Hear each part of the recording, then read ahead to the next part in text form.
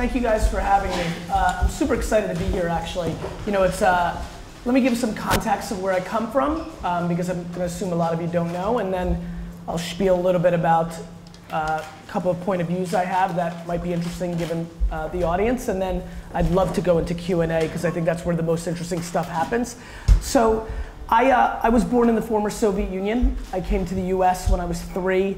We grew up super poor. I lived in a studio apartment in Queens with eight family members. It was a really tough upbringing. Uh, my dad got a job as a stock boy in a liquor store, uh, making two bucks an hour. Uh, and I kind of grew up with that American dream merchant kind of world. We, uh, we were very immigrants, saved every dollar, and eventually, five or six years into the US, my dad bought uh, a small liquor store in New Jersey. Uh, I moved to Jersey when I was six. I was very entrepreneurial, lemonade stand, baseball cards, washing cars, raking leaves, shoveling snow, anything to kind of make a buck. Um, when I was uh, in the US, when I was uh, 12 or 13, baseball cards were a very big deal. Every, everybody collected them. And I was making one to $2,000 a weekend selling baseball cards as a 12, 13 year old. So probably the richest I'll ever be. Um, and uh, that was great, but then I turned 14 and I was first generation oldest son from the old country, which meant I got dragged into my dad's liquor store. Uh, got paid two bucks an hour to bag ice for 15 hours a day. Um, so it was kind of hardcore. I always tell a lot of my friends that I grew up much more like their grandparents than they did because we were so first generation. When I was 17, I realized that people collected wine and that was a big deal for me because I didn't want to go into my family business, though I wanted to because I thought I could do it much better than my dad. Um, but I wasn't passionate about selling beer or liquor. Uh, but this wine thing was super interesting to me. And by the time I was 18, somewhere between 16 and 18, I went completely all in. I mean, scary to think back how much I learned about wine as a teenager. And I decided that I wanted to open up 4,000 wine shops all across America eventually build a big business, sell it, and buy the New York Jets, which is my uh, career ambition. Um, when I was 18, even though I only spent about 30 minutes of my life on a computer at that point, uh, I was in college uh, and I went to my friend's dorm room and I heard the uh, dial up internet sound for the first time. And in 1994, about 14 minutes into surfing the web, I ended up on a bulletin board in AOL uh, that was selling baseball cards, and I realized that I could sell shit through this machine. Uh, 24 months later, I launched one of the first three e-commerce wine businesses in America called WineLibrary.com, and uh, and that became my career. Spent $15,000 on building that website. I was still at university, and so uh, nobody back home at the liquor store knew what to do with it. So on that $15,000 investment, the uh, wine e-commerce site in the first two years of operations sold less than $2,000 in wine. I don't know how many of you have a uh, Soviet father, but uh, Sasha Vaynerchuk was not happy with the ROI. Uh, in 1998, I came home and took over the business. Uh, and from 1998 till 2003, in a five year window, I grew my dad's business from a $3 million to a $65 million a year business. I did it uh, on the religion that allows me the, uh, the humbleness to sit in front of you guys here today, which is when you have no money and the business, just for context, did $3 million a year in revenue, 10% gross profit, so $300,000 before expenses. Luckily, Sasha didn't pay anybody anything, but still, there was really no money the only way to uh, build that business as quickly as I did, especially in a time when the internet was quite immature and there wasn't the kind of user base that we all have now, there was no venture capital, there was no M&A activity. I built it because I made every penny of my advertising work like a $100 bill. And how I did that in 1996 was I launched an e-commerce site when nobody did that. Uh, in 1997, I launched an email newsletter that had 200,000 people on it that had 91% open rates and 55% click through to add to cart button. Uh, because in 1997, nobody was doing email marketing in the US market, or any market for that matter. Uh, the day Google AdWords came out in 2000, I bought the word wine and I owned it for nine, nine months for five cents a click. basically my career is very different than the, the legendary status of this agency, which is all of my career in the first five to seven years was predicated on the one thing that is my religion. So, I, you know, it's, it's, a, it's a smart thing and a, and a thing that I believe in my heart to say in this room. I truly believe that creative is the variable of success. That the creative is the difference between selling 1,000 cases of that wine or one bottle of that wine. And I think that's the way the world will be forever. My problem, my excitement, my debates, my passion, my hours are spent on the fact that I believe most people deploy creative into a gap of attention that is overpriced. So my career was built on buying attention at a very low cost. E-commerce, email marketing, and Google AdWords in 97, 2000 was grossly underpriced by the creative and advertising shops of the world and by the businesses and startups of the world. And that's why I was able to build such a big business. I continued that path with banner retargeting when that wasn't a thing. And my career took a really different turn and probably started my path to this seat in 2006 when YouTube came out. YouTube came out, I thought it was gonna be a big deal. And within four months of YouTube being alive, I started a wine show. And every day for five years, I sat in front of a camera for 20 minutes and drank four bottles of wine. that was a good gig. Um, in the first year and a half of YouTube, 2006 to 2007 and a half, very few people watched it. There was not a single video that had a million views. It was building. By 2008, I, I was selling hundreds of cases of wine per episode if I reviewed the wines carefully and properly. Um, and it was the first time in my career that I was selling stuff where there was no paid distribution. It was completely predicated on the content itself and the organic distribution of the channel. A few months later, Google bought YouTube for $1.6 billion. Um, that was the point where my career changed. Uh, I read an article that Ron Conway, angel investor, was set to make you know, $25 million on his $50,000 investment. And it was the first time I realized you know, this gift of being right about e-com and Google AdWords and email and Google and YouTube, it has to pay off more than selling a couple more cases of Bordeaux or Burgundy. And so I promised myself the next time I felt it, the next time I felt that feeling that has so dictated the success of my life, that I would invest. Uh, I went to South by Southwest the following March because I wanted to learn more about this Web 2.0 thing that was happening. Uh, and uh, there was an app everybody was making fun of called Twitter. I thought it reminded me a lot of early email marketing. I became very friendly with the founders, and a couple months later, I invested in Twitter at a $50 million valuation. Um, a couple weeks later, I made my first business video. It was called Facebook Should Be Worried About Twitter. I explained why I thought Twitter was a very exciting thing and why this new force, Facebook, should be paying attention to it. It led to Mark Zuckerberg's team reaching out to me. I flew out to Palo Alto and spoke to their company. Uh, gave a talk about consumer behavior and the attention graph. Uh, Mark luckily agreed with a lot of stuff. We had dinner, and a couple weeks later, I bought a shitload of stock from his parents. Uh, a week later, I came home to New York, had my first lunch with David Karp, decided that Tumblr was going to be a big deal, and uh, three months later, I invested in Tumblr. So, as an investor, mm, I'll probably never do better than my first three investments. Um, I've gone on to invest in Birchbox and Uber and, and, and Buddy Media and Wildfire and a lot of good things and have done quite well, but back then I understood that all those platforms' attention was underpriced. It's the way that I know that any brand in the world that you work with, uh, definitely now in the UK in the US and many other markets, if they are trying to sell something, sneakers, a soda, a piece of candy, clothing, to a 15 to 25 year old, 95% of the ideas in this room, at Vayner, and many other rooms are not going to work because we're going to deploy stories in places where 15 to 25 year olds are not spending their attention. You know, uh, I'll use Mondelez, Sour Patch Kids was probably one of our most interesting case studies in the US.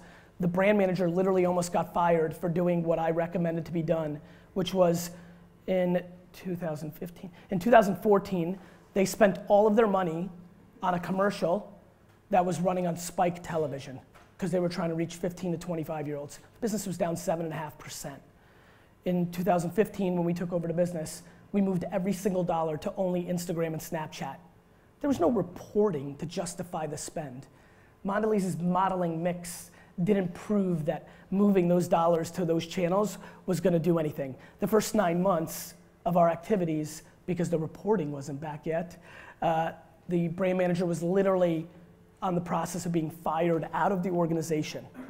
When it was all said and done last year, Sour Patch Kids in the US had the fastest growth of any candy brand in the last 10 years.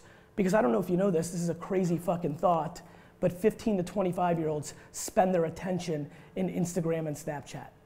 We have, right now in marketing and just all over the world, a stunning disrespect for attention and a gross, overwhelming, overwhelming respect for bullshit metrics, headlines, awards, and a ton of shit that has nothing to do with actually selling product. Now, now, thank you, my man. Now, that being said, it's an interesting thing because, look, I'll, I'll say this, and this is super important to say here because I think context is everything. I am in advertising now for the last seven years. Really, I've been running the company for five years. Just for context, since you're in this world, I've grown the agency from 30 to 650 people, from three to 100 million dollars in revenue, um, no M&A, no cash infusion, and I'm still selling something nobody wants. You know, nobody wants our creative. Nobody even thinks of VaynerMedia as a creative shop, um, and and I know enough to. to I, I don't know much about the advertising world right? Like if you told me you'd give me $50 billion right now if I could name the CEO of your company or any other company, I would not be able to do that. I, I don't know it. You know, I, when I go to Cannes, I feel super out of place because I have no idea what the fuck anyone's talking about. Um, I don't know the space very well. I mean that. And so the reason I just did that little rant was I, I do know enough. As a matter of fact, I even use your guy's name in some of my speeches because I know this is a special place. I know this is one of those places that is so well known for their great creative and things of that nature.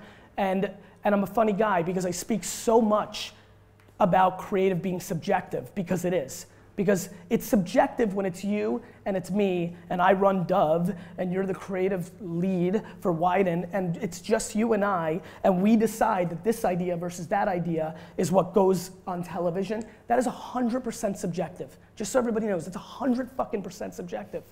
Now, when it goes into real life, it becomes not subjective. The market decides. However, what bothers me is it made a lot of sense from 1955 to 2010 to do it that way because you didn't have the ability to scale your IP prior to putting it in the market. For every Just Do It and MasterCard Priceless, there have been thousands. In this room, this is so interesting to me. This is funny. I haven't really spoken too much at shops like this, or creative shops in general, and definitely not at this level. In this room, there have been five to 11 ideas at individual levels that literally were the game changing idea for a business that never saw the day of life because of the way creative and brands work together in a 2016 world. Because you were too junior and the senior person decided not that idea, this idea. Right? Or because when you presented it, the brand manager, and you guys, I mean, I assume this is how you guys think about it. It's fun for me to watch. As I've mapped what we do for a living, I look at the people that make the decision to run shit, and I'm like, this is the craziest shit I've ever seen. These are actual business operators. Which, by the way, as I think you guys are getting, I didn't grow up drawing and fucking being an artist. I'm a salesman. I love brand managers. I love people who give a shit about margin and fucking stacking end caps and selling shit. That is my religion. I love them. But do I think that they are the right person to make a judgment call on a creative execution? I do not. And I see it every single day. And so the whole model to me is fundamentally broken because I have the ability and the luxury, honestly, to come from outside eyes. I didn't know any different. I didn't know why awards and headlines meant so much in this world until I realized, ah, that's how agencies get talent and get new clients. Of course, that makes so much sense, right? I don't understand why media buying agencies tell all their clients to do programmatic ad buying when there's literally no worse piece of fucking advertising in the world than a banner ad on a fucking website when the whole world's going to mobile and you don't even see the banner ad because it's on the bottom left hand corner below the fold on womenswomen's.org. But then I'm like, oh, I see, because that's the highest profit margin for Group M and Digitas. That's why they push it. So, you know, as you start getting in it, if you don't understand the historical context, if you don't if you're just not romantic about the way it was, you start understanding pieces of this industry. Here's the punchline problem or the opportunity, just depends on where you sit on this issue. We're going into a day and age where technology is catching up to two fundamental things that are going to matter to everybody in this room and everybody outside of this building, which is data is catching up to justify and understand what the ROI is of things more and more every single day. If you really understand what's, see, I have a really nice advantage. I live my life really is more in Silicon Valley than I do in Madison Avenue. And so, for example, I'm an investor in many startups right now that already have pilot programs with Coca-Cola and Green Mountain Coffee and Procter & Gamble where their packages are smartified and you can actually start justifying and understanding the whole funnel of the transaction. You can start quantifying some of the behaviors. I mean, it's gonna be fun. We're going to understand what we do for a living here more than ever before in a 10 year period. And, and I'm not talking about direct response, I'm talking about branding and how it actually justifies control tests with smart packaging. Understand, really understanding the ROI of things. At the same token, and I think you guys know this, every single day, technology is moving into a world where they're blocking advertising because advertising, my friends, for the last 70 years has done one thing more than it's done anything else. It's stolen time from the end consumer. Advertising for the last 70 years has been built to not let you do what you actually wanted to do, stop you, and then tell you about something. You're watching a show, and all of a sudden it stops, and we try to sell you fucking beer, right? You're reading an article, you turn the next page, you wanna finish your fucking article? No. We're gonna give you a full page of a fucking car, right? Like, like this is what advertising has done. And online too, you go to ESPN.com, we're not gonna let you read the article. The whole fucking page is gonna be taken over by an Acura fucking car riding at me, right? And so, and so what we have is we have the world of advertising stealing our time while, when you look at what DVR did, if you actually understand, one of the, the one of the great mistakes of my career is I passed on Uber's angel round twice. Very friendly with the founding team, passed twice. Invested in the next round because it came to New York and I understood, holy shit, Uber doesn't sell transportation, Uber sells time. The reason people take Ubers is the even the perception of the car being there, the perception of those five minutes. If you actually look at your own behavior, and I don't know your financial status, but you will be stunned no matter where your financial status is in the world if you look at big data, how much people spend on time, convenience, when they can't even afford it because it's important to them. And if you look at what advertising has been built on, it's been stealing time versus vice versa. So when I think about all the digital marketing that everybody's doing and how much of it's predicated on time stealing in a desktop environment when, oh, I don't know if you heard, this is the only fucking way we're gonna consume the internet, right? And it's happening on an everyday basis. And all those tactics don't work here. I'm fascinated by that stuff. And look, the other thing, and look, I know this is, I assume this is a television shop from what I know and, and things. Listen, I, you know, I do, I do not understand how anybody in this room, as a common sense human being, doesn't understand that television commercials are in major, major friction against the market right now. People are not consuming as much television commercials as, you know, it's so funny. All my TV creative shop friends, CEOs that I meet at things, they're like, Gary, TV consumption's through the roof. I'm like, no shit. Everybody's watching Breaking Bad, everybody's watching fucking House of Cards, and everybody's fucking watching Game of Thrones, but who the fuck is watching the commercials? Fast forwarding globally has declined last year for the first time during DVR and TiVo and those things because the new behavior, and you know this because you actually do it as a human, maybe not as a marketer and as a creative, but as a human you do, the second you're watching something and a commercial comes on, you grab this. Everybody loves to talk about live sports commercials being this great thing. I don't understand why people don't look at the most basic data, which is the singular biggest lift in Twitter activity is during global sporting events when they go to commercials. Because you know, after something happens, you grab your phone and you want to tell everybody your opinion on LeBron James's dunk, or your opinion on that big match, or that big fight, or whatever you just saw. So what happens is your attention's here while some Jeep goes up the mountain over there. My friends, listen, listen. I have no interest in coming in here and saying, oh, what you do. Like, I just want you to know one thing.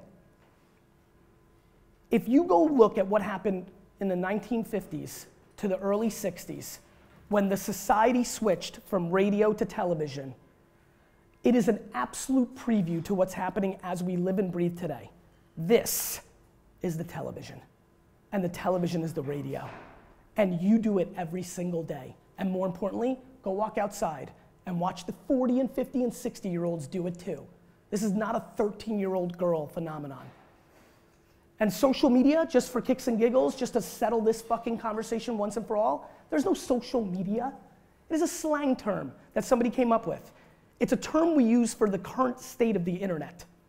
And if you believe in this thing, just kicks and giggles, this is just data, 53% of all of our attention, 53% of all of our attention on this device, this is added up time on apps, not opinion, is spent on social networks. When you start looking at social media as the current state of the internet, where people's attention actually is, it gets a lot harder to disrespect it. But the skill that sits so heavily in this room doesn't go away. It just has to, in my one man's opinion, it just has to change its context to where the stories are being told. And it's funny, when I started my company, I started hiring fancy creatives, creative directors from this place and Droga 5 and 72 and Sunny and all these fucking places, right?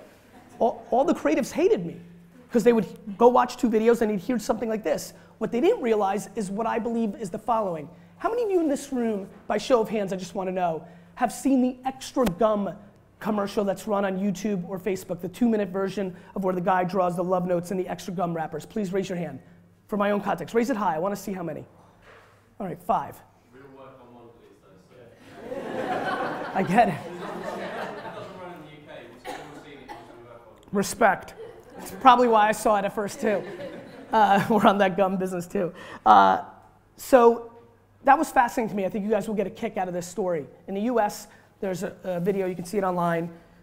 They ran a 30 second spot version of it for seven and a half months, and the business, the, and again, again, maybe, you know, listen, this is very honest truth. I do stereotype that a lot of agencies actually don't care about selling stuff. But here's good news. I've come to learn that a lot of my clients don't actually want to sell stuff either. People's behavior is predicated on their personal interest. Of course you want to do award-winning work. It's good for your career. Of course my people want headlines, my clients, they want headlines because then they get promoted. Everything's backwards. People are just humans and they're reverse engineering their own vested interest and they should. I'm not mad. It's just life. Just true. Anyway, 30 second spot, nine months, decline, decline in sales. They made a full version of it. They go, you know, what the hell? Let's put it on Facebook. The one minute and 53 second version of it is a far more compelling story. It didn't have to fit into the box of a system that was built in 1965. And the person that was the creative and the writer actually got to tell their fucking story the way it was meant to be told. And you know, I don't know if you know, but there's a lot of people on Facebook you know, this whole scale thing is really intriguing. There's plenty of fucking scale. There's more scale on Facebook every day of the week than there is on any number one television show in the world times 10. Just raw data, unemotional. So remarkable thing happened. I don't know if, you know, just stunning. Funny thing happens because, I don't know, stories in video form work. I think we'll all agree. And so because it was actually consumed, because it was actually told as a story in its full, complete way, and because people have the ability to pass things on on Facebook, can't take my TV and throw it to somebody. The product exploded, the video exploded. It went secondarily on YouTube, which I think now has 15 million views or something absurd. And the business has been up double digits every day since 30 days after they put it up on Facebook for the last seven months. Everything you do for a living works. My argument to the whole goddamn marketplace is you're telling these stories in places where people aren't anymore. And it's declining by the minute. Do I think people randomly catch commercials? Of course. Do I think that it is massively overpriced attention? Yes, I do. Why is billboard pricing globally in the world up 12% when every single person here, when on the bus or in a taxi or not the primary driver, is looking at their telephone? Can you tell me with any fucking common sense that impressions on billboard are more valuable today than they were 10 years ago? Absolutely not. It's the same reason I love Super Bowl commercials, real quick. On the flip side, I think the Super Bowl commercial may be the single most underpriced asset in the world of attention, period. In the US, I think it was five or six million dollars for a spot this year. I've recommended ABI and Mondelez and Pepsi and all my clients to spend as much as 25 million on a spot because every single person in America watches it. Everybody, whether they watch it on YouTube before or they watch it when it airs. Now, the creative, a lot of times people are doing things for the sake of winning instead of the sake of selling stuff, but that's a whole different conversation. And really, honestly, I, I don't even have a lot of passion about that because I do think it's subjective. And actually, I'm sorry, I, I got off this tangent. I want to go back because I think this is the part that made my creatives finally like me, which has been a relief. If you're a team of uh, ECD and a CD and an ACD, and you got a client, and you got a strategist, and you got an account person that thinks they know what the deal is, and everybody's jamming, I just love the idea of being able to be in a place where if you've got an idea for Trident gum, right, that all four of you can see the day of life of your story. You can run it at scale on Facebook. You can get feedback from actual consumers, not focus groups where we put them in weird rooms and show them animatronics or whatever the fuck you call it. And everyone's like, yeah, real good. It's, I mean, it makes no sense. Like every time I look at this stuff, I, I, I really, you know, again, maybe I'm too foreign, maybe I'm wrong, which is very possible. I've been that before. But these things, my first, you know what? Let's go back to this story and then I'll keep jumping. This is how I roll. my first meeting, first one ever. First one, start the company. We land Campbell Soup. I'm gonna put them on Facebook. They're like, what's Facebook? I'm like, this is perfect. This is my world. I go into my first meeting. It's a V8, V8 juice. You guys have V8 here? Good. V8 fucking juice meeting. I sit down all, it's an IMC or something, like all the fucking, you know, agency partners, right? I sit down. I'm super pumped. I, I promise myself I'm gonna shut up, which is rare for me. I need to learn. I need to shut my fucking mouth. I'm gonna listen and learn so I don't say a goddamn thing. And here we go. First comes up the PR company. It's a, just a recap. Great news. We got 987 trillion impressions for you last month because they got you know a mention on Huffington Post, seventh page in, bottom left hand corner. But you know they gave the credit for the entire monthly reach of HuffPo.com for their metrics. So that started off tough, but you know, 800 trillion impressions. Everybody claps. Then somebody comes up, whether it was the creative shop or somebody else, they did something, they showed some creative, and they go, great news, Millward Brown. I never heard that word before. Millward Brown says it's the greatest shit that ever happened. Yay, everybody claps, right? So the, uh, the activation agency comes up, goes, great news, we went to the NCAA tournament and we gave out a bunch of fucking soup and we got 700 trillion people to try it. I'm like, I, am like, this is an amazing world. Somehow they figured out how many people actually tried the soup by giving out samples. Yet every event I've ever given to, all the fucking samples are on the ground. But cool, unbelievable. Seven million people tried fucking V8 soup. Great. Now I'm getting antsy because this is why I failed everything in school and why there's. I basically just went to the last page which said the business is down 19%. So finally, four different people present, the digital shop comes up, and honestly, you know what's funny? I will take a, t- as much as I just railed on television commercials, if you call it that, I will take a TV commercial over 90% of the bullshit digital shit that people sell, pre-roll, banner, takeover stuff that nobody wants. I, I would call those impressions that are negatives. You know, people, I mean, when are we going to start, by the way, real quick, just as a side note, as a tidbit, can we start debating the value of an impression? Why is everybody predicated on the impression? Like, you know, impressions can be bad. Like, awareness can be bad. Like, everybody knew who Hitler was. That wasn't good. Like, impressions can be bad. Like, I will never buy a Samsung product because they kept doing pop up banner ads on ESPN.com that annoyed me so much. And by the way, you guys know this on mobile devices, those little X's are small and our thumbs are big. So those 100 impressions that I by accident clicked into seven times, back at Group M, everyone's like, yeah, 7%. Meanwhile, Meanwhile, I will never buy a Samsung. I, sw- I mean, literally the seventh time I called my wife, I said, I swear, when I die, you can remarry, you can do whatever fuck you want, but nobody in this family while I'm alive buys Samsung. it's true. So, I finally raised my hand to the Campbell's meeting. I go, listen, I look, I come from entrepreneur land. I come from running my own businesses. I'm missing something. I know this is billion dollar companies. I don't want to deploy my hundred million dollar business mentality, but I've got to ask. I've just sat through this meeting and I know I'm gonna, and, and I was very, look, I'm self aware. Like, I was like, look, I know this is gonna be like, who the fuck is this guy and what the fuck, right? But I was like, I have to ask because I have to learn. How can we have such a compelling meeting for 45 minutes where everybody did everything right? And why is the business down 19%? And no joke, this is my first corporate America meeting, advertising, big brand meeting. Everybody looks at around and goes, yeah, fucking confusing.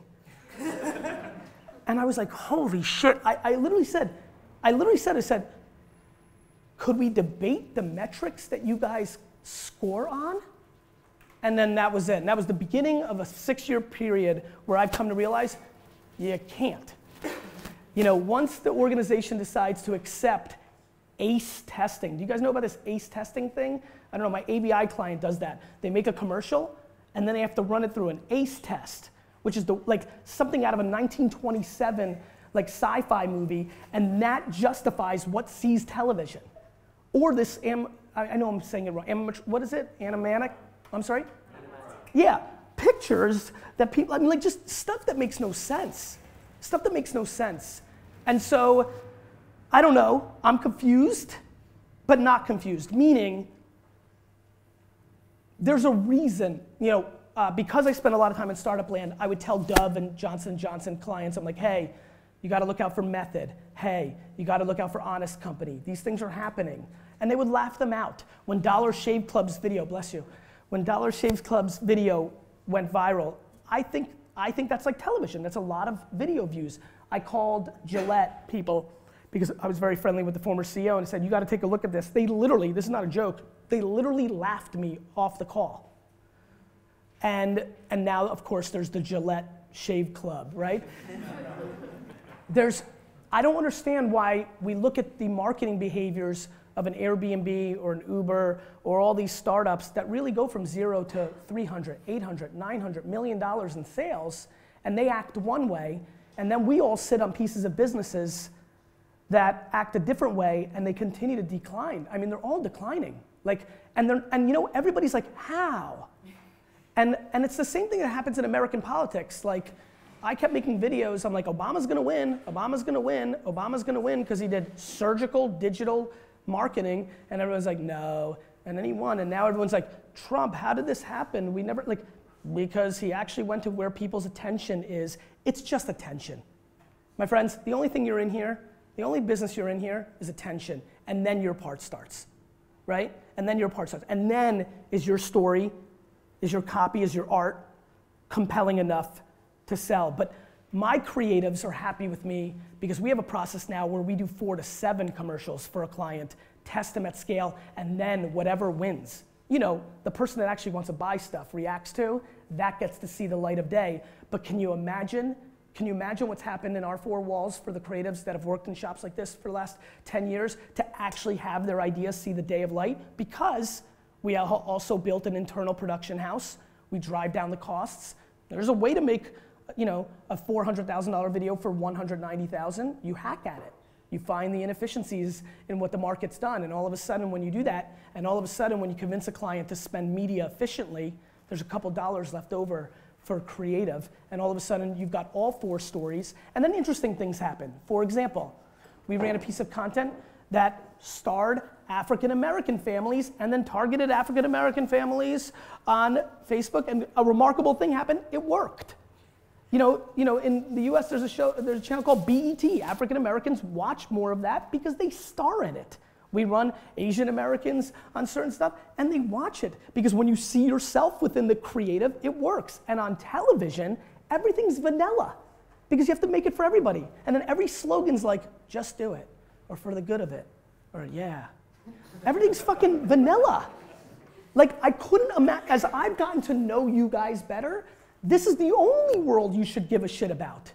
This is the world that gives you the opportunity to do you instead of complete vanilla, blunt, wide objects that strip all the shit that you have in your heart. So I don't know. I think the golden era of creative's coming, and I think it's going to come in the form of Facebook, and it makes me laugh because all my creatives that have been doing it for 12 to 20 years poo-poo it and think it's shit and think it's third tier and fucking bush league because they don't know what the fuck they're talking about. That's why. And so, I don't know. It's to be fun to watch over the next 10 years. I know this. I know that. Uh, I know that We've never seen the friction between big brands and their media buying agencies like we've seen over the last three years because they're starting to wake up and realize the two biggest margin areas for media buying agencies are television and programmatic ad buying, and ironically, that's the only fucking thing that they tell them to do. I know that. And I know that that's gonna change where dollars get allocated and how they're gonna get allocated. And I know that uh, we have a whole generation of people that are not gonna be rewarded for doing the thing that doesn't get them fired. So, I'm, I'm religious about attention. I couldn't imagine selling something to an 18 year old in America and not spending 80% of my money on Snapchat creative. Why? They don't spend another minute anywhere else. Why in the world? And I don't give a shit what your reports say or what you grew up with. The market is the market is the market. And I'm telling you, especially if you love advertising, please go study what happened from 1955 to 1965 in the US market. I can speak for, I'm not quite as sure here of the timing or if that's exactly what happened, but I'm sure it is. Because when the collective of our society's attention shifts platforms, carnage and opportunity happen at the same time. The four biggest beer brands in America all collapsed because they were romantic about radio. Because there was creatives at the shops that loved writing copy for radio and didn't give a shit about this 30 second video bullshit on this black and white thing that nobody's gonna watch. That's why. That's exactly what's happening right now. And here's the punchline. I'll go into Q&A, and please go into any detail. I didn't talk a lot about social, but if you want to talk about Musical.ly or, or Anchor or, or Snapchat or whatever you'd like to talk about, um, it was romance that put everybody out of business. And the thing that bothers me about romance is it lacks practicality. I hate when I go and speak at these companies or agencies and they go, he's a disruptor and he, he's a real disruptor. Here he is, Gary. And I get up there and I'm like, I'm not a fucking disruptor. I'm the most practical fucking guy in this room. You know what I think's disruptive? Trying to sell a 25 year old in 2016 something through a fucking television commercial. That's disruptive. That's fucking insanity. And you know what bothers me the most, and I'll end with this? You know this when you walk out of this fucking hall. You know this. It's what you do every fucking day as a normal human.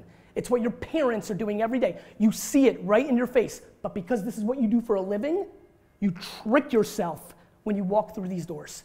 That's wrong. It just is. It just is. Thank you.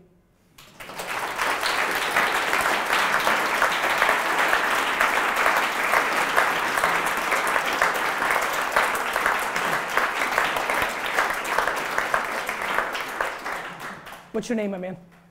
What's the average uh, age of uh, your employees?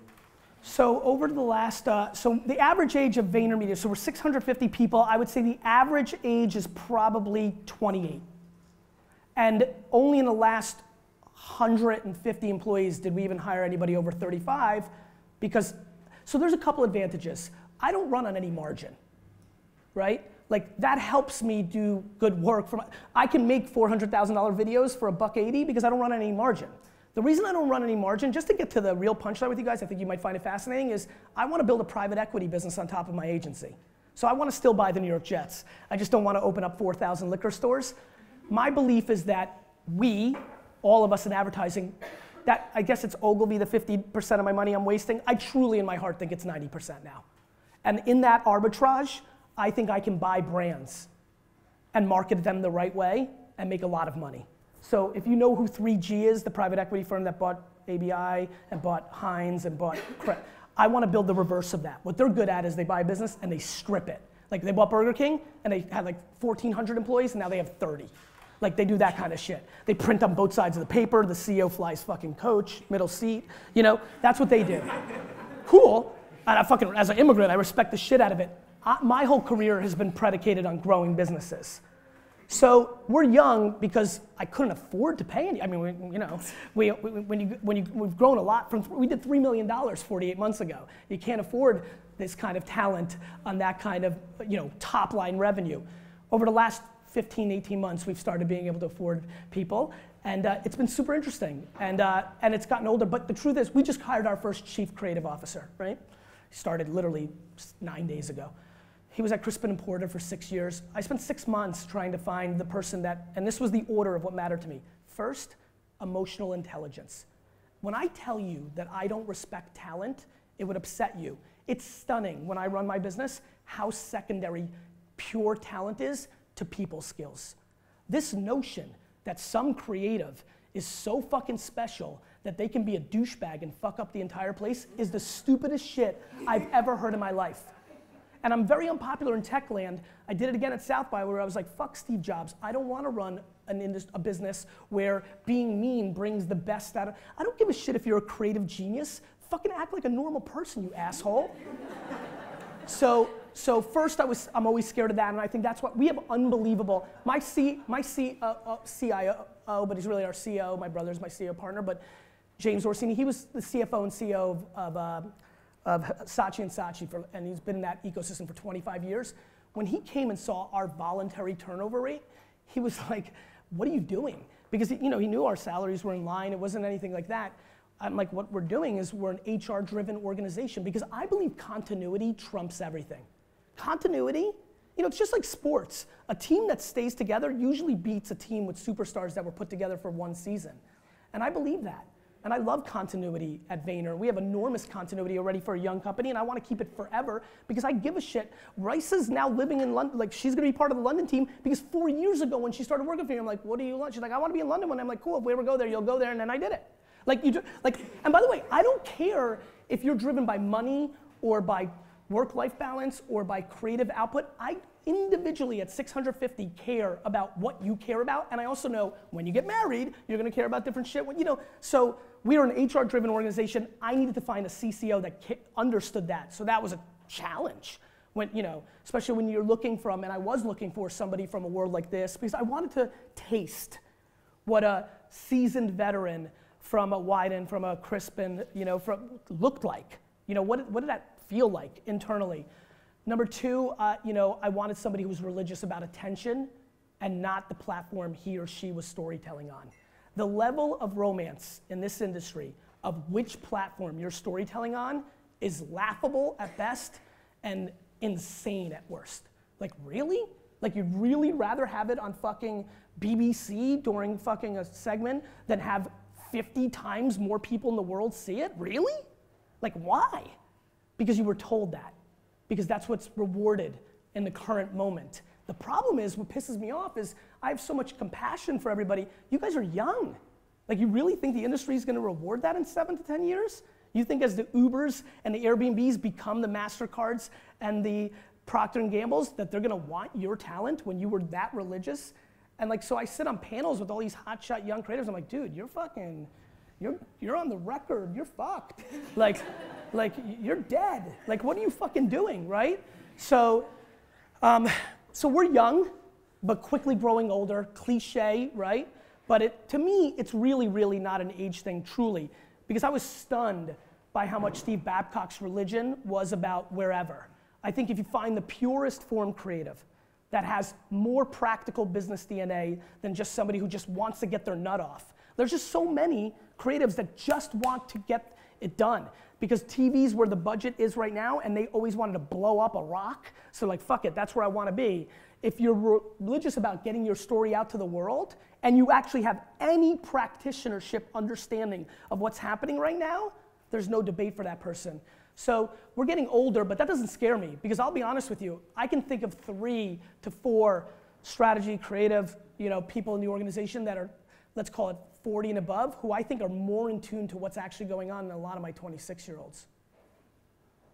A lot of my 26 year olds still grew up wanting to be on Ad Age's top. We, one of my kids ran up to me, he's like, we made GE, we do, a, GE's been a brand that's gotten a lot of credit for a lot of the work that we've done in the last five years. He's like, we made it on Ad Age's top 10 hit list. And I'm like, the fuck is that?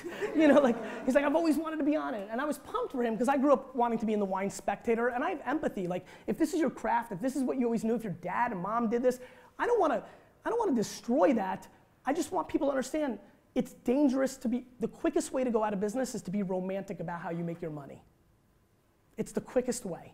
And we're, you know, listen, guys, I wish, just, I, I didn't get to tell the full story. I built Wine Library in direct mail, outdoor radio, outdoor radio, te- local television, full page ads in the New York Times and Wall Street Journal.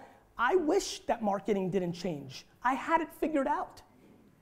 I, I have 1.2 million followers on Twitter. Do you know how sad I am that Twitter is fucking losing attention?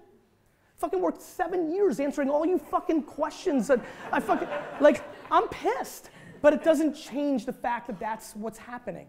And so if I have to stay up till three in the morning to figure out how Musical.ly works, because 60 million, 60 million people are using it monthly from zero seven months ago, and if I want to sell a 16 year old something, I need to know. Just need to know. My man, what's your name? Scott, Scott.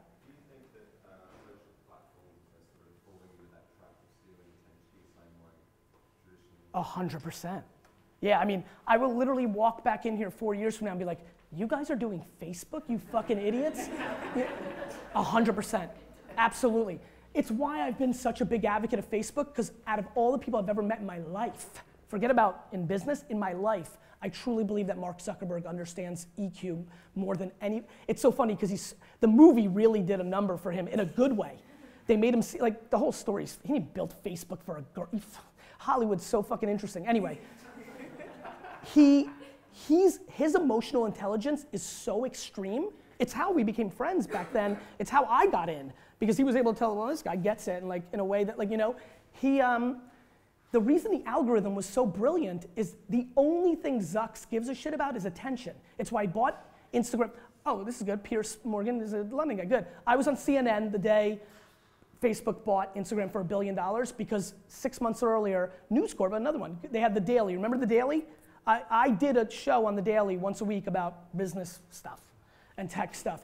I, I had a prediction show at the end of the year, and I predicted that Facebook would buy Instagram. So four months later, they buy it, and I get to be on CNN with Piers and talk about it. And I go that they stole it. And I don't know if you remember this. This is two years ago. They, Instagram was 551 days old, and they spent a billion dollars on it. People lost their shit. Like a lot of people in America and the world didn't even know what Instagram was yet. And a billion dollars is a lot of money. And there was a lot of money two years ago compared to today. It's just the way the world works. And I go on the show and I go, he stole it. I get out of the studio and there's thousands of people saying I'm an idiot on Twitter. I saved every one of them.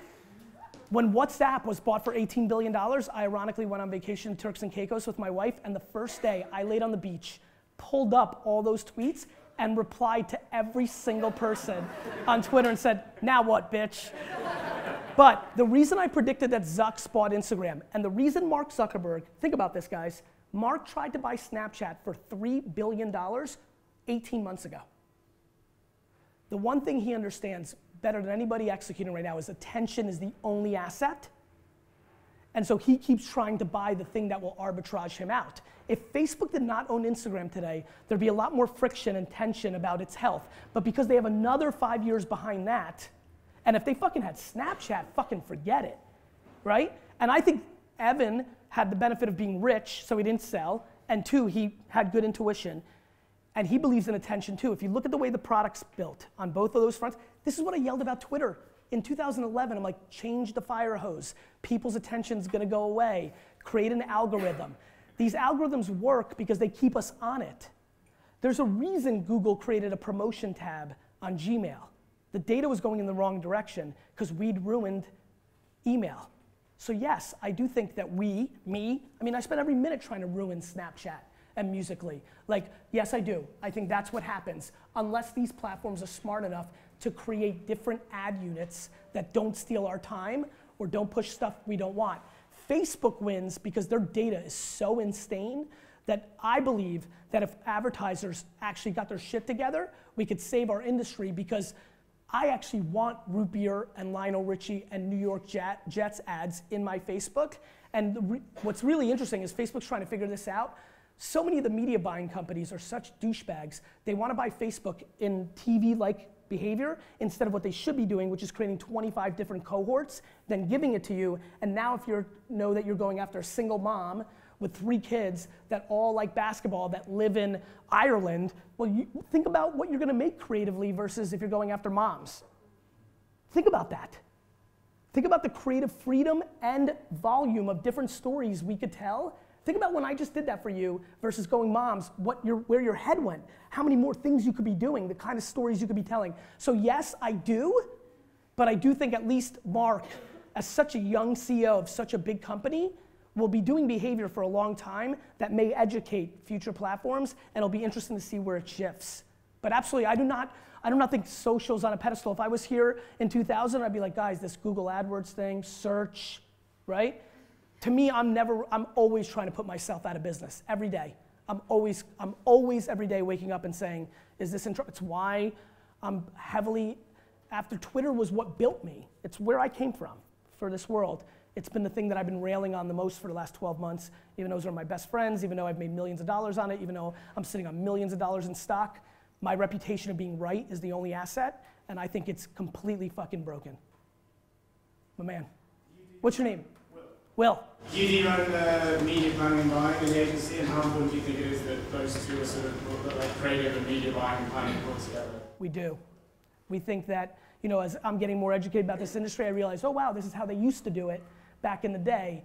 I think that's right. And in our world, when you're making 26 different segmentations and 26 different creative stories, we have to sit together. My teams where we, and it's funny, in a world of OMD and Group M and Starcom, we've chipped away and have won.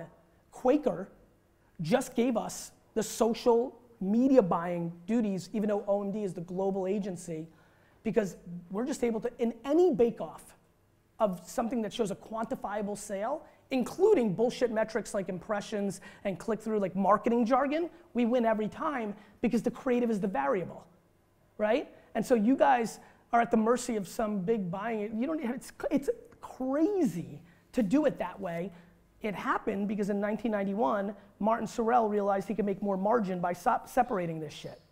I mean, like, this is what pisses me off. This stuff is, I knew nothing. It takes me 20 fucking minutes as a common sense businessman to figure out why this shit happens. And then everybody goes, award winning work sells product. That's my favorite, by the way. I'm sure that gets said here too, and definitely gets said in Cannes 5,000 times. Award winning work sells product. You mean the studies that were commissioned by Nielsen's and by creative shops 25 years ago to justify creative? I mean, like, where does everybody, like, why is everybody so confused? So, yes, we absolutely do the buying when we can. Some places we can't do it because we're boxed out by the AOR media buying company. But what's great is we'd rather lose the business and continue to push against it to prove it to them, eventually willing our ways to an A B test, which I don't know, miraculously we're like 20 for 20 because when two human beings are sitting next to each other and one's saying, okay, this is going to go to 23 to 27 year old females who are fans of Burberry and who've commonly gone to Bergdorf Goodman's. The creative has a little bit of an advantage over the other people that are going 18 to 60 year old females go. I mean, it's, yeah, so yes, we think that we think that that's going to happen. We think I think that will happen to you guys over the next 10 years because there'll be no options. You'll be forced to. I don't know if you guys are owned by a holding company or not. You're independent, so you'll be you'll build out that principle and merge with somebody. It's just going to be important. As dollar, you look, people are going to follow dollars. Dollars are going to shift over time.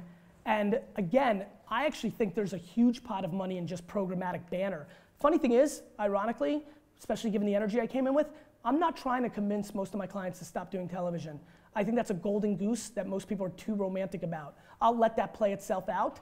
I'm actually chipping away at banner programmatic because that shit they don't like, and it's a it's a it's so crazy. I mean, when's the last time a, when's the last time somebody here clicked a banner ad? I mean, there's amazing case studies of people not even seeing banner ads, like being blind to it now, left sides of websites. A lot of UX UI designers, I don't know if there's any in here, are like designing the most least, least, least important thing on the left side of a website because they know that we've become literally blind to that spot on the right side or left side, depending uh, on the market, because that's where the ads were. Like literally the Facebook generation, the 33 year olds kind of right now, 27 to 33, literally can't see the right side of a website because that's where the Facebook ads were for the five years they were there every day. Literally can't recall, cannot recall. Yes, sir.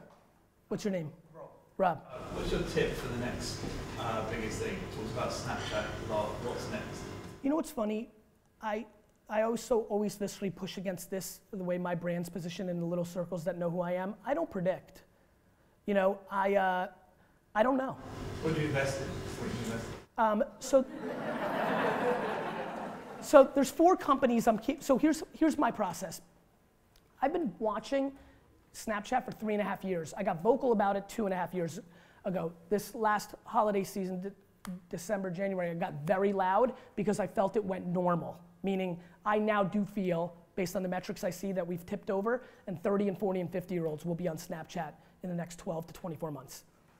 The four platforms that I'm paying attention to are all very different. So I'm looking at Peach because Dom Hofmann is a very good product guy, but Peach is fucking 41 days old. Like it can't even begin to be meaningful for a year, and I actually am not very crazy excited about it. Anchor. Anchor is like a voice Twitter. I don't know if you've seen Anchor. Super interesting to me. I've always wanted it because a lot of thoughts, sometimes, like, I've always thought voice Twitter was real. Uh, so this is the closest thing I've seen to voice Twitter. It's called Anchor. Uh, I'm watching that. Um, Musical.ly, this is the first platform I've seen that has the true potential to be the next Snapchat. If you don't, if you don't know what Musical.ly is, you should definitely download it. It's very interesting, based in China, um, but exploded in the U.S. and U.K. and other markets. If you go into your, wh- who's Apple here versus Android? Apple.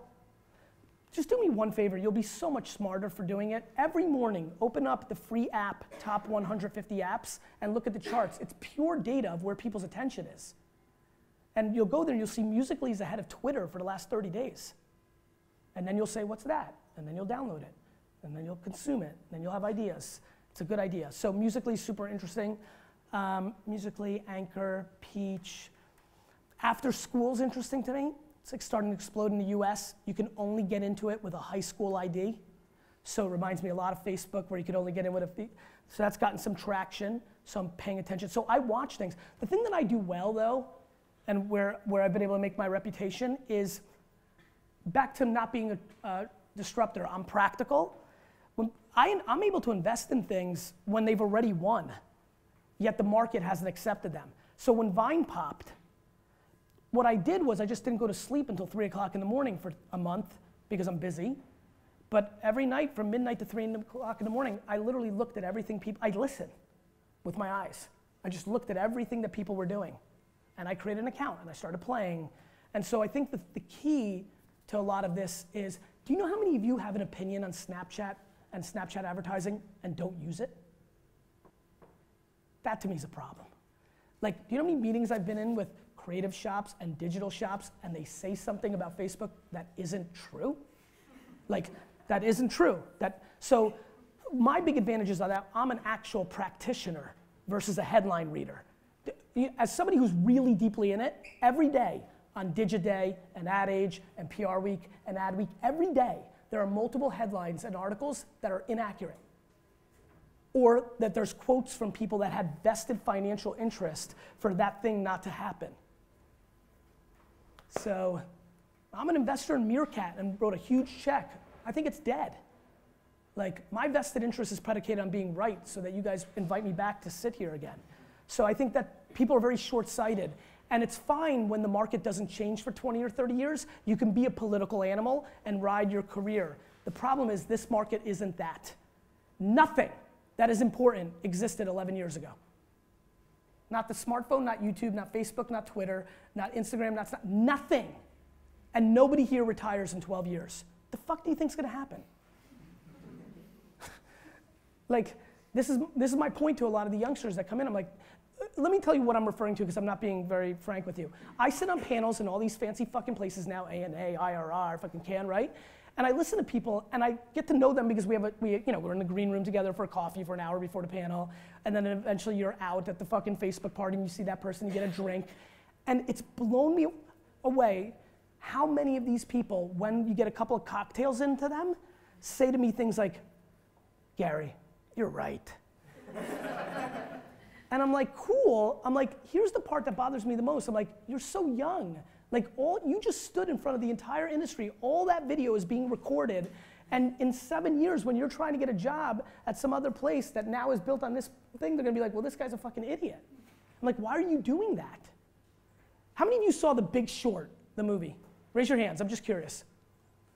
I swear to God, when I watched that movie, I was like, holy shit, this is the advertising industry. Everybody knows it, and everybody's in on it. And, and I'm not mad, really, I'm really not.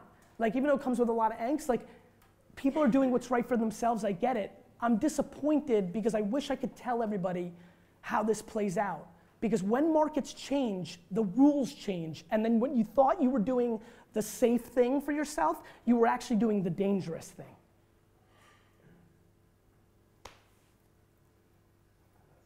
Any other questions? Yeah. Yeah. So, it's Ian. Um, so Mark Zuckerberg here on at Samsung. So, but so he's, he's clearly kind of doubling down on the whole VR thing as being like an Yes. important thing for the future of Facebook. Like, how do you feel about it? VR is 100%, not 99, the next platform. The problem is, it's much further away than a lot of these tech nerds think. So what, what I learned with the internet, VR is internet 1991. So I'm investing heavy in VR, only B2B of the companies that I think will get bought by Google, Apple, Samsung, and Facebook. Consumer VR is not even close. You know, like we couldn't even get ourselves to wear Google glasses. We're gonna go to VR. I think VR hits critical mass when it goes to contact lenses, and it's a good 10, 12, 15 years from now. But we'll start gaming, movies. Everybody in here in five years will probably put on a VR set and watch a movie. Everybody here in five to seven years will play a video game in VR. But the thought that VR is as close as people think it is, it's not on the consumer level. Because people are grossly, grossly underestimating what makes the fashion industry tick and how consumer behavior actually works. It takes time. It takes from an anthropology standpoint, we're further away than we think, but it will happen. Because here's, here's why I think it's going to happen.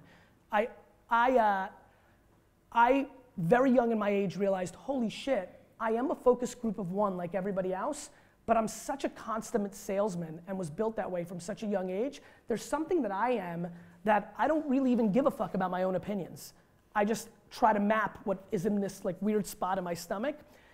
It blew me away when I did VR for the first time not too long ago, the real VR that's coming, kind of some of the preview shit. I took the headset off after an hour. Now, mind you, I want to give you a little context. Nobody loves people more than me. You could be tied with me, but I love human interaction. It's so funny, social media, when that was being debated, I'm like, that's a gateway drug to actual communication. I love this, you know, like, love it.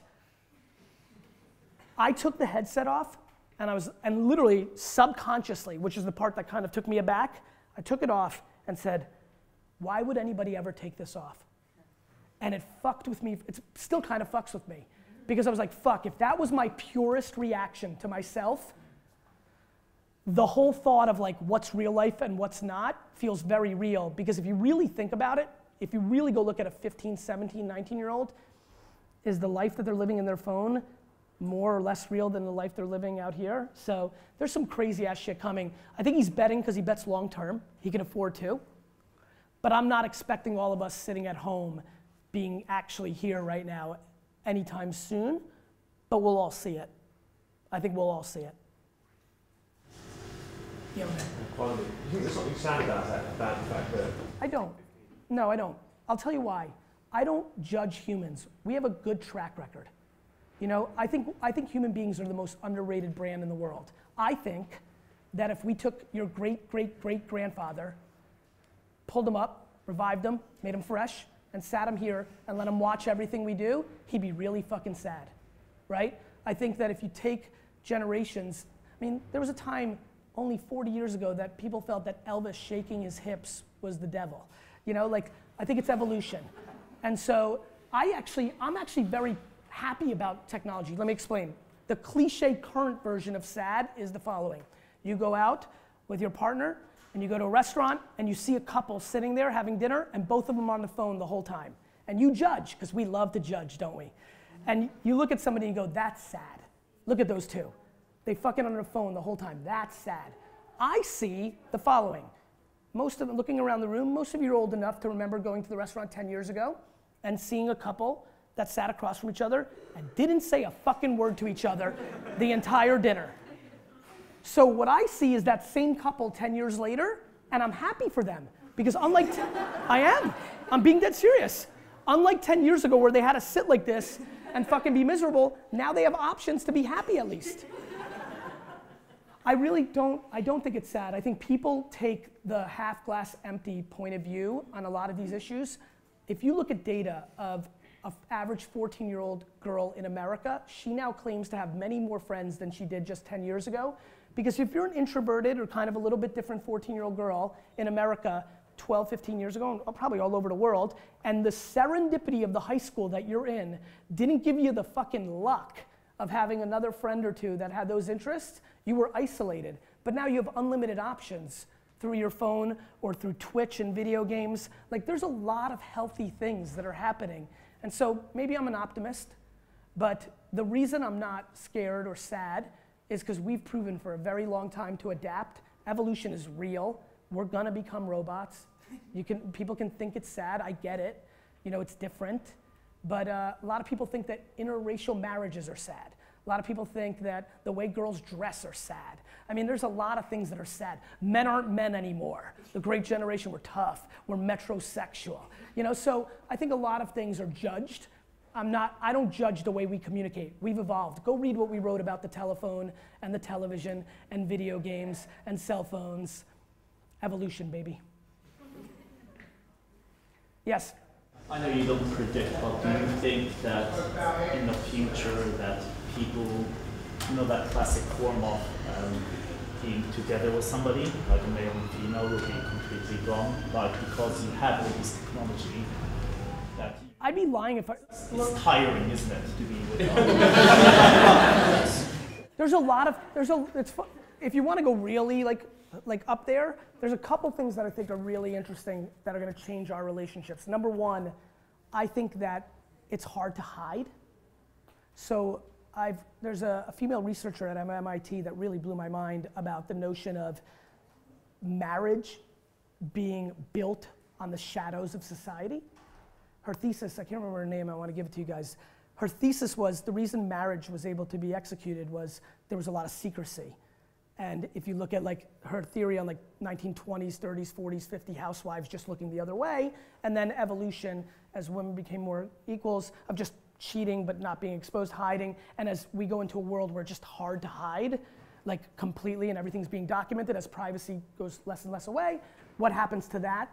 I think back to VR, there's some incredible thinking around what's going to happen with VR porn that I think is it's just true. They're the fastest innovators in the space. VR makes your brain think that you're 99% there. What happens for men with porn? I think it's 99% real in a VR environment. So I think, look, I think back to your thing. I think for us to think that shit's not going to change and not going to change aggressively with very different technologies, yeah, I think I think a lot of things are going to change. But but I would also tell you, and again, maybe predicated on the optimism, I think the more that the more we expose the shadows, the, that we may not see it because it takes a long time. But if you think about, I, I'll actually give you a ex- uh, focus group of one. As I started getting internet fame and realizing more of my shit was going to be out there, and I took f- selfies on the way here, the people in the street, like I've lived a different way. Like it's interesting how freeing it can be if you kind of I no joke, as a real funny, like where I'm trying to get to, I literally live my life at this point as if it's on the record 24 7. I'm conditioning myself for knowing that all of you are going to wear contact lenses in 10 years and you could be streaming that or recording it. Like, this is real. Like, you can wish how it's not going to be, but these things are coming. And so, I don't know exactly how to answer your, your question of like what's going to happen, but I definitely think there's going to be friction. Like, I think the way things are now are being challenged, not just in television ads versus Facebook stream versus Snapchat, but in like all so- social norms. And, you know, it's just a different world, man. Got to uh, one more, my man. How are you? Yeah. and um, obviously a lot of laws are going to change. A lot of what, brother? A lot of laws are going to change as new innovative and new clients. Uh, you talk a lot about EQ, attention, you talk about hustle. You give everyone a little gist around my hustle is Thank you for knowing that. Yeah, one thing I didn't touch on that I appreciate you alluding to. I'm, and, and I, I think this has been a very big reason we were able to grow VaynerMedia. And, um, and I think as you get bigger, it gets harder. And just in general, you know, for people that know a little bit about me, I, I- being an immigrant, I, I don't think I have all that many talents. But what I definitely know more than anything is that hard work is an absolute variable. I think that way too many people, this whole notion of, well, Gary, I work smart and that somehow substitutes working hard is really quite silly. And I think it, it breeds itself in talented organizations like this and startups where, where one thinks their talent can trump somebody outworking them. I think, for example, creative is subjective. Delivering something on time is not. You know, and so these are things that we kind of think a whole lot about. And I think, no question, in a world where a lot of stuff's being commoditized because of the scale of the infrastructure of society, that hard work is a stunning variable. But it's only hustle to what you actually want to happen in your life. So the cliche way I talk about it is I work 15 and 17 hours a day because I have these business ambitions. But I would argue I had a very telling meeting the other day where I have a friend who's made over $100 million and he's sitting there and he's crying and complaining to me that he doesn't spend enough time with his family. And I was like, literally, I had no love for him. He's a real good friend. I'm like, fuck you. I'm like, you have nothing but money. Like that is, you're not doing it for that. You're being selfish. You want to spend more time with your family? Spend more time with your family. So hustle can come in a lot of forms. Like, you know, it depends on what you want to deploy it. But if you want to be great at your craft, if you want to be great at what you do professionally, to even begin to think in today's environment that you can pull that off in an eight-hour day is laughable. It's just not real. And so I'm a very, very, very big believer in hard work because I think it's the differentiation from uh, in the marketplace. Because if talent was enough, all the number one draft picks and all these sports leagues and they would win. All these different artists that have music talent would win. Hustle, I think, is the backbone of how we built what we built. Um, it was funny as we started hiring older people. You know, I'm busy, so I'd have meetings at 8 or 9 p.m. at the office. Like that's when I could meet them. Um, and, and it was, I knew I was onto something as I was starting to hire more senior people because every one of them were on the floor stunned how many fucking people were at VaynerMedia at 8.30 at night working. And they would always comment on like, holy shit, huh? And the truth is, and this is not a joke, I do feel like our hustle at 650 and 100 million and a little bit of, a little bit of love finally is coming down a little bit. Success, uh, you know, absolutely pushes against hustle. Um, and so one of the reasons I'm doing my daily vlog and documenting it is to remind all these fuckers that hard work is a factor. So thank you guys for having me.